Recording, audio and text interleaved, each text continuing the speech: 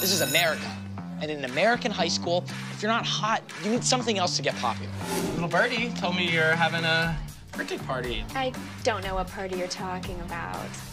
Oh my god, Kimberly, I just got the invitation to your birthday party and I'm so excited! Kisses. Mwah. Mwah. Oh. What the? Oh. no. Okay, bye. I called you in to talk about the Stall of Fame. You're the only boy in school with no tallies next to your name. Are you saving yourself for marriage? No. Oh, are you uh, asexual? Because I have a pamphlet for that. Who is that guy? I told you, that's Ben. He looks like Thor, but like ethnically ambiguous. What?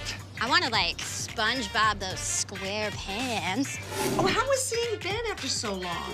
He changed a lot. Got like really attractive. Really, really hot. Honey, you're good looking too. He's okay. He's like a five. Six top.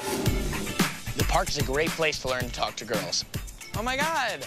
Wow, it's crazy seeing you guys again. Officer, I don't understand the misunderstanding. The whole point is that I was saying we weren't stalking them. It just looked exactly like we were. Wearing the jeggings I bought you. Of course I would, man. Jesus Christ.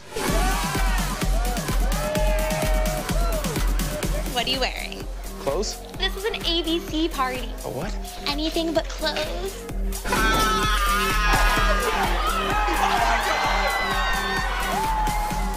You think you can mess with people's girlfriends just because they're blind?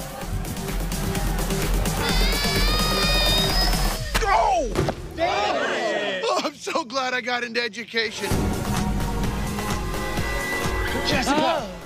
Oh my gosh. I'm so sorry about last night.